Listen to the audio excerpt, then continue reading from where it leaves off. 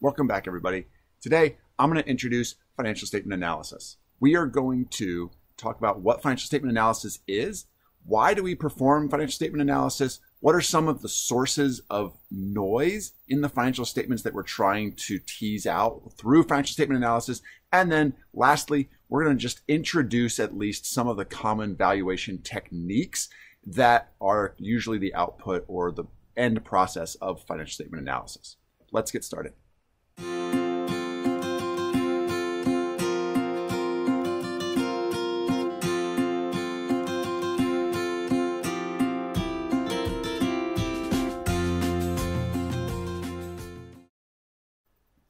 First, what is financial statement analysis? Financial statement analysis is a method by which users extract information from financial statements to answer questions about the company.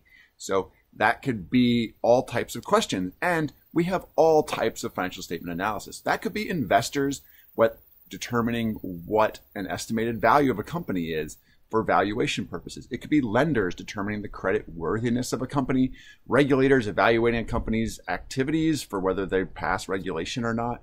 Managers can you do financial statement analysis for internal purposes, whether they're evaluating the performance of a segment in order to make managerial decisions, or for external purposes, where they're evaluating potential uh, investment or acquisition uh, opportunities for their company. Other companies can perform financial statement analysis, whether that's competitors looking for strategic information on your financial statements, customers looking for the reliability and stability of your company and potential uh, sources of their product, uh, suppliers evaluating your credit worthiness and the stability of your company as a customer of theirs, employees may do financial statement analysis, whether they're doing wage negotiations or just evaluating the stability of the company who's paying their salary. Courts, attorneys, experts with the court are also doing financial uh, statement analysis. A lot of times that pertains to calculating damages. So, what we're going to primarily focus on today is investors. That's probably the most common and probably the largest area of financial statement analysis. It's determining the value of a company is typically a little more difficult than determining its credit worthiness. Uh, I'm not downplaying credit analysis. I did that for many years, but investors is a little bit different. And most of the analyses that people are talking about, when you take a financial statement analysis course at college, the primary focus is going to be an investor focus. So investors use financial statement analysis to determine firm value. This is the most prevalent objective of financial statement analysis, as I just mentioned. Financial statement analysis is a core aspect of what we would call fundamental analysis. Now, fundamental analysis is a little bit different than other types of analysis that don't rely as heavily or at all in some cases on financial statements, and some of them don't even rely on company information. For instance, technical analysis is actually looking at price movements to determine the appropriate value or future price movements of the company you're looking at investing in.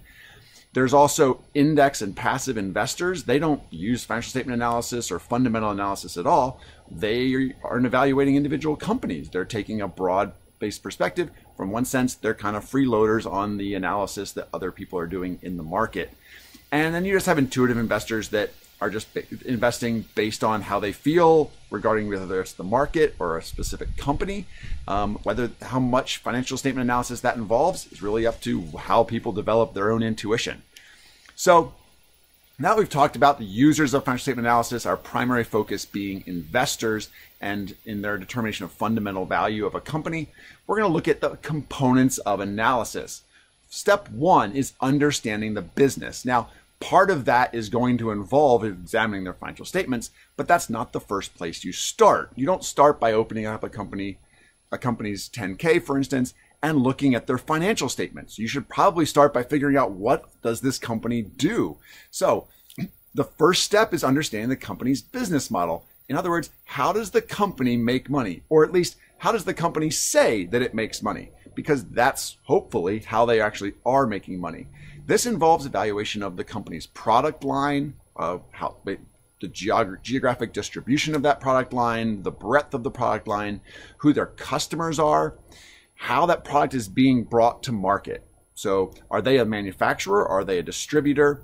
And that brings in this notion of what is the firm's expertise? How are they adding value? And what is their primary expertise in the value creation model? Is it in their manufacturing processes? Is it in their distribution, their marketing, their supply chain? Any number of ways companies can make money, and that's the expertise that they bring. You're also going to look at composition of the industry, so their competitors, their suppliers, their customers, how that interacts with the company, and lastly, kind of a political, legal, regulatory environment analysis. Like some companies, if you looked at financial services, banks, insurance companies, are highly regulated. That drives a lot of their value creation. It limits what they can do as a business, it limits who their customers are, and that's something that needs to be brought into your evaluation of a company and an understanding of the company's business model. Now, understanding their business is key. The financial statement analysis part comes after you have a solid understanding of the business. You layer on top of that the financial statements of the business. That provides clarity on how each one of those factors, the product, how it's brought to market, what their expertise is, the industry, political, legal, regulatory environment. The financial statements provide clarity on how those factors contribute to firm performance and thus firm value. So once you understand the business, you can then dive into the financial statements and it provides another layer and it helps translate your understanding of the business into a financial return or a firm value. And that's where financial statement analysis really comes into shine. So an example of this, if you're talking about a company launching a new product, for instance, well, you need to understand what the product is, what market, who's they're selling it to, whether it, they're successful at launching products. And a lot of that is going to come one from understanding the product and the business, but the second piece is are they successful? What's their performance in launching products? And that we're going to get out of our financial statement analysis piece. So that's how that feeds into this. So in determining this value, we are going to try to distinguish in our financial statements what I'm going to call the distinguishing the signal from the noise. Now, the goal of financial statement analysis is to um, clear away the noise in a company's performance and find the true signal. That true signal can then be used to determine firm value. There are any number of ways to do this. The noise is going to vary a lot. We'll talk a little bit about what kind of creates the noise here in a minute. But that's the main goal. We're trying to distinguish the signal from the noise, the signal being the core aspect of what we think is driving the value of that company. But we need to get rid of the noise. So the noise basically makes the signal difficult to interpret. Financial statement analysis strips that noise away. So what is that noise? Well, in financial statements, there's a couple of things. Some of them are built into the process and just financial statements and accounting, general accepted accounting standards in general are driving and creating some of that noise. Some of it is from outside of financial statements. Now, some of these sources of noise, management bias, right? Management managers are typically optimistic, potentially overly optimistic. That is going to feed into the financial statements in terms of management's estimates of things. Now, hopefully, those are being curbed through, say, audits, through the, uh, the accountants in the own, their own business, through over time and expertise of the company itself can reduce bias. But there is still bias in financial statements that is noise that's making it difficult to figure out the true signal or the true performance of the company in terms of determining a value of the company. The other, other things, general purpose financial statements. The fact that we are using what we call general purpose financial statements also creates noise. General purpose financial statements are designed to provide information to all types of users. Yes, investors are one of those user sets, but so are creditors and bondholders and employees and any number of people are going to be using these financial statements. Thus, there's a lot of information in financial statements that doesn't pertain to what you're looking for or what you're looking at. So you need to basically extract the information from general purpose financial statements and basically create a very special purpose financial statement or a special purpose financial analysis that allows you to determine firm value if you're an investor, for instance. Not the, similarly to the general purpose notion is this idea of completeness. Financial statements err on the side of completeness. GAAP requires disclosure and requires the breakout of information for every company. That causes or introduces a lot of noise because some things the company is going to disclose or discuss that don't matter for that company.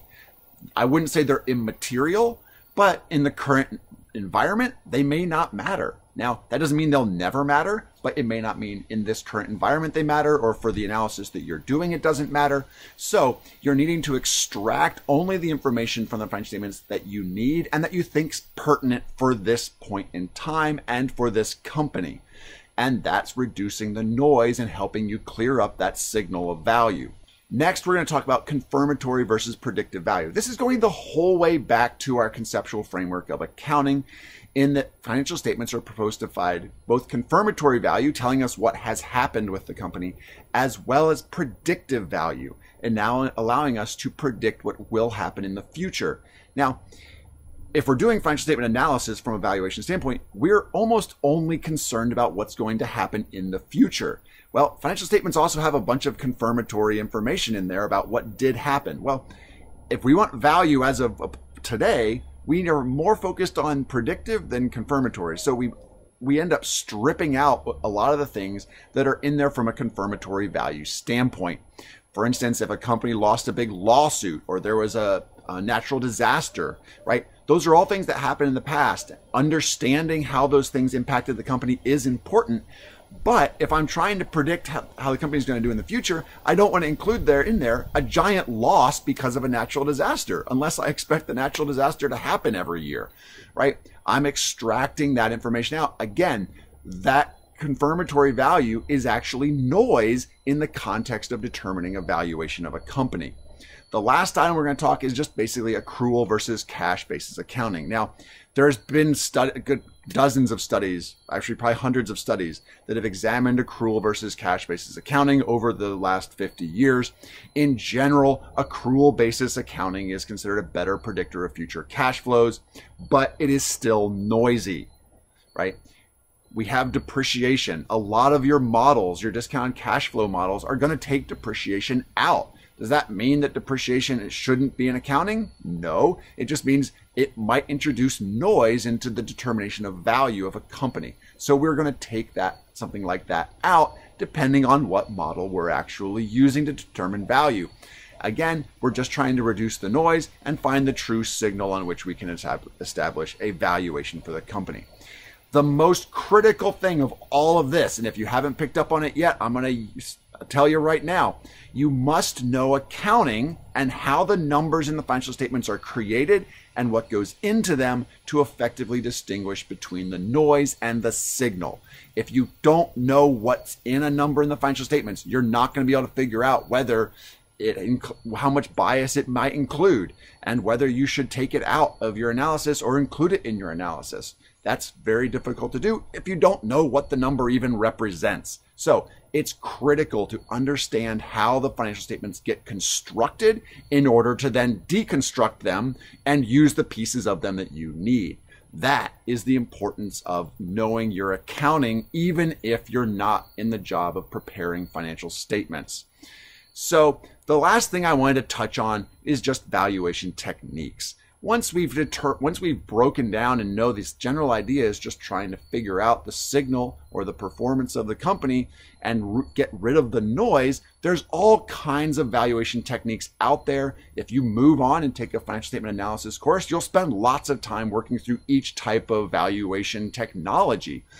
So but the, they all have the same goal. The goal of evaluation technology is once you've you you strip away the noise, you find the signal, and you use the signal to somehow generate a a um, estimation of what the value of the company is.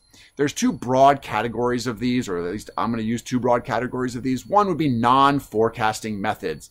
This would be determining value based on like comparable companies, like what's the other, what's a company very similar to ours trading at, or what's their stock selling for. Um, you can use valuation multiples. So if, for instance, whatever most companies are being valued at, say, two times revenue right now, well, that's just a valuation multiple We can use that to determine a value. And lastly, you can do an asset based valuation. Some companies, some industries, some points in time, an asset based valuation actually makes a lot of sense. If you're looking at real estate, for instance, a lot of times that's going to be an asset based valuation or you're going to use comparables.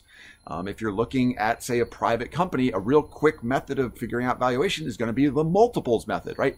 These are non forecasting methods. They're kind of looking at the current business environment and making an estimation based on what we're seeing in the current business environment. The other method, broad category, is going to be forecasting methods. Forecasting methods are, generally far more intense, require a lot more inputs and a lot more work in, in determining the, the signal in the financial statements.